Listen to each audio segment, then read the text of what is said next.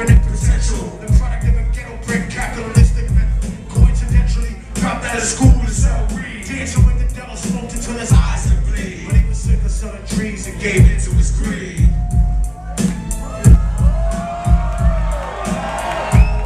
So then he started robbing niggas and he did he could do to get respect back in the eyes of his crew. Started fights over little shit up on the block.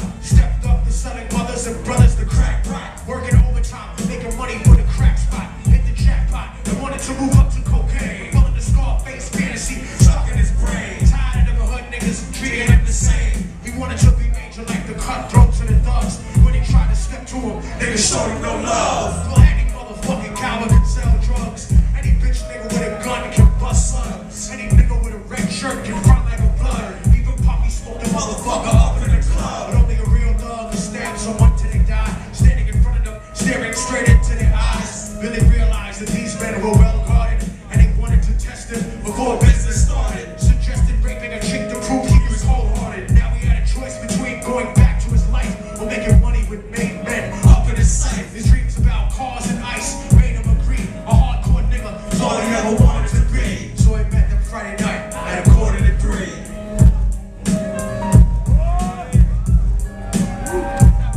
And rolling around the project slow while it was raining. Smoking blunts, drinking and joking for entertainment. Till they saw a woman on the street walking.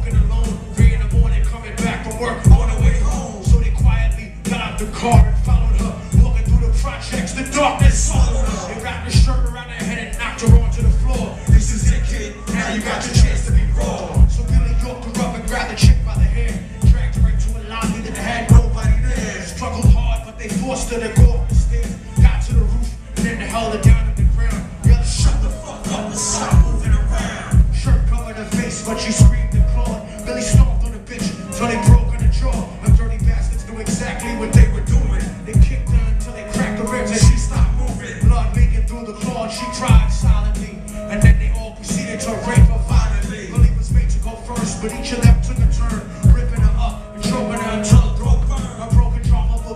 but they